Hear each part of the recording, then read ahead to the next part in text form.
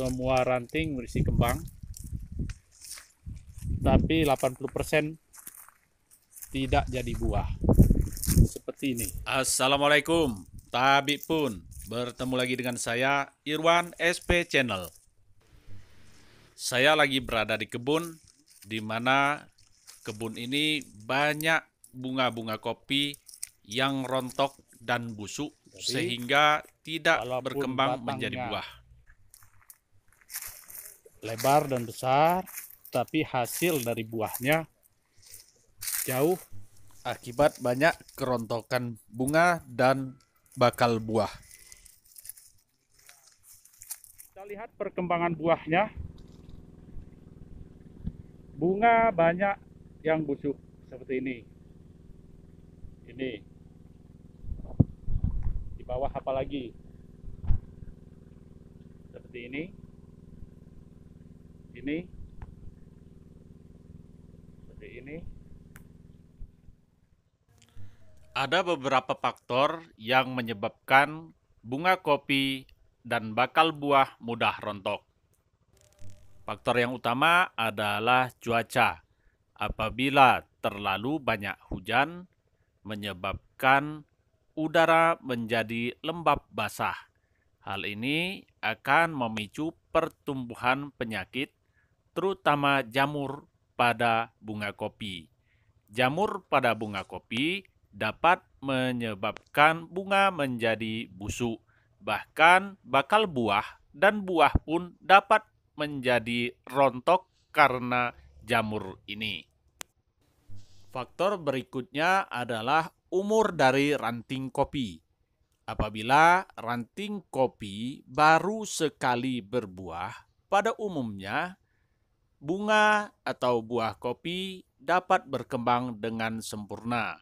Namun, apabila ranting kopi telah berumur lebih dari dua kali berbuah, biasanya bunga kopi atau buah kopi banyak terjadi kerontokan.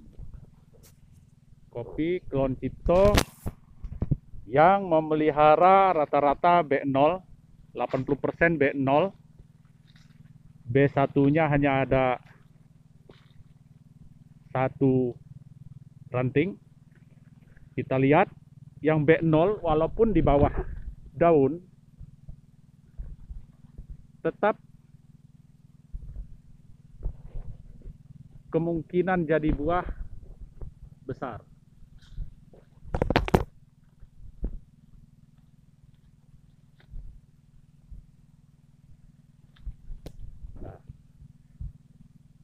Ini untuk B0 rata-rata B0 juga sehingga pembentukan buah seperti ini ini masih di bawah daun tapi kita lihat set, tetap berkembang secara baik. Ini juga yang di bawah kita lihat. Berkembang cukup bagus kalau yang sudah B1 sepertinya ada kegagalan. Ini B1. Sedikit kegagalan seperti ini.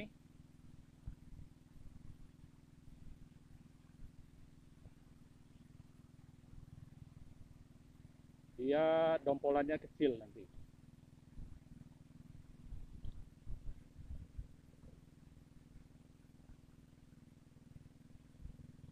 Ini kembang-kembang susulan ini ini adalah menyulam yang kerontok hingga bulan 10 biasanya masih terjadi penyulaman.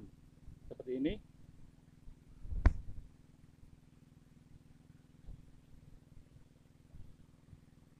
Oleh karena itu harus kita jaga bakal-bakal buah ini sampai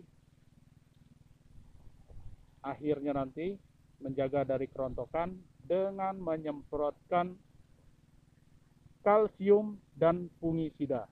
Karena yang busuk seperti ini, ini adalah disebabkan oleh jamur atau fungi.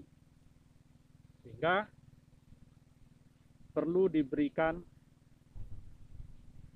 fungisida untuk memberantas jamur dan kalsium itu adalah memperkokoh dari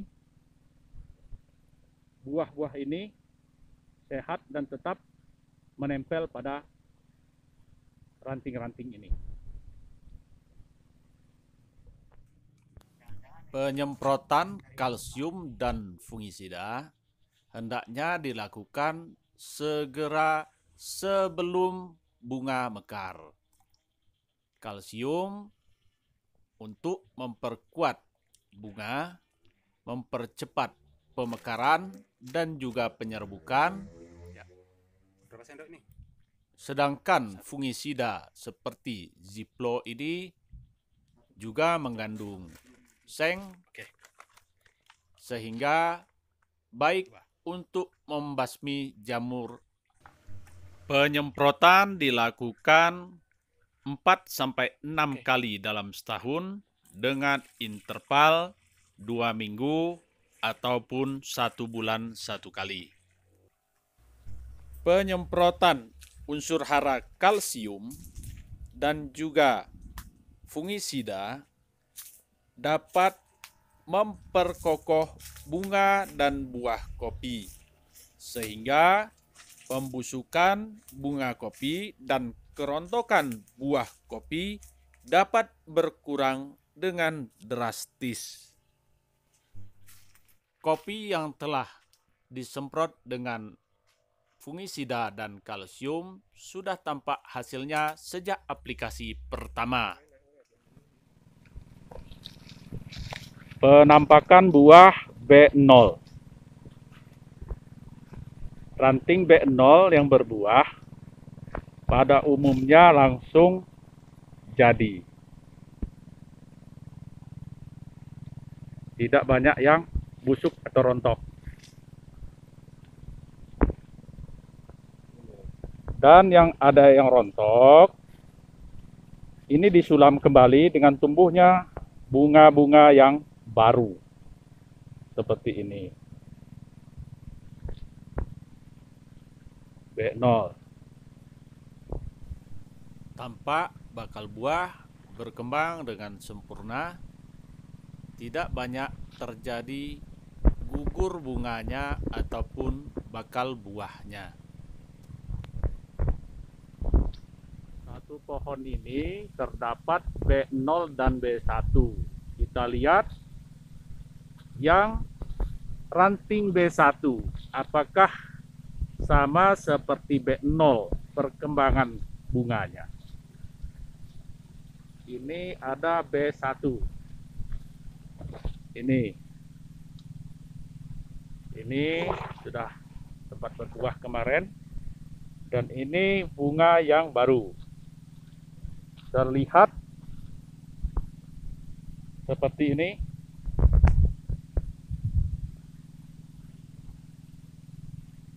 Rontok.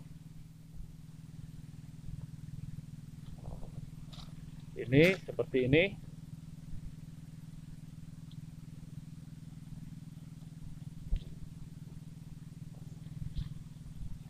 kenapa yang B1 tidak banyak yang jadi atau banyak yang rontok seperti ini? Ini karena makanan yang dibagi kepada ranting yang lebih panjang dibandingkan dengan B0 mulai dari sini sampai ke sini bisa satu meter setengah atau dua meter. Sedangkan yang B0 dari pangkal hingga ke ujung itu kira-kira satu meter. Terlihat jadi.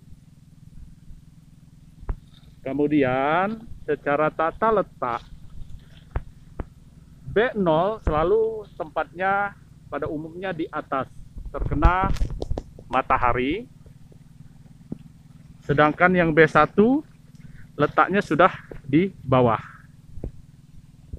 seperti ini.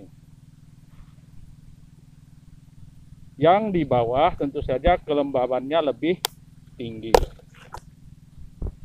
Sehingga menyebabkan bunga-bunganya busuk, tidak berkembang maksimal,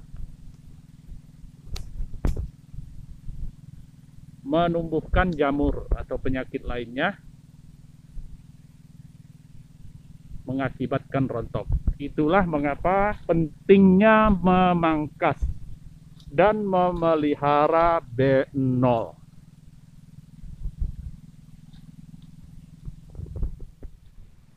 B0 ini sudah dipelihara dari bulan 9 tahun yang lalu dan sekarang kira-kira sudah berapa ruas coba kita lihat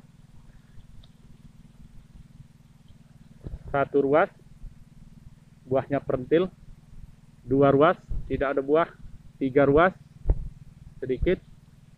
Empat ruas lima enam tujuh delapan sembilan sepuluh sebelas. Dua belas tiga belas. Empat belas lima belas enam belas tujuh belas delapan belas sembilan belas dua puluh dua puluh satu ruas. Pemeliharaan dari bulan 9 dan terdiri dari berapa cabang ranting? Satu dua tiga empat lima di sebelah juga ada lima. Dan sa satu ranting yang paling ujung ada berapa? Dompol. Satu dua, tiga, empat, lima, enam, tujuh calon. Pak ranting yang paling bawah satu, dua, tiga, empat, lima, enam, tujuh, delapan, sembilan, sepuluh, 11 12 13 14 15 16 17 18 19 tapi yang pangkal ini sepertinya kurang maksimal buahnya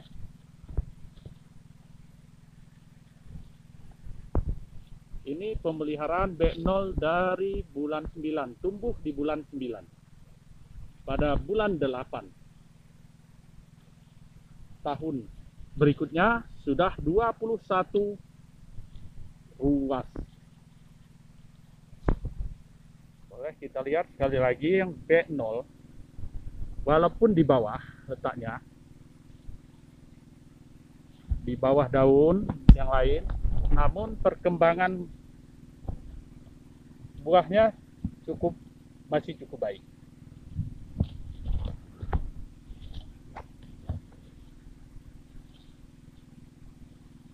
Kopi yang sudah disambung relatif lebih tahan terhadap kerontokan dibandingkan dengan kopi yang belum disambung. Baik, para kopista, sampai di sini video kali ini. Semoga dapat bermanfaat bagi kita semua. Tonton terus, jangan lupa like, komen, dan subscribe-nya. Sampai bertemu lagi pada video-video berikutnya.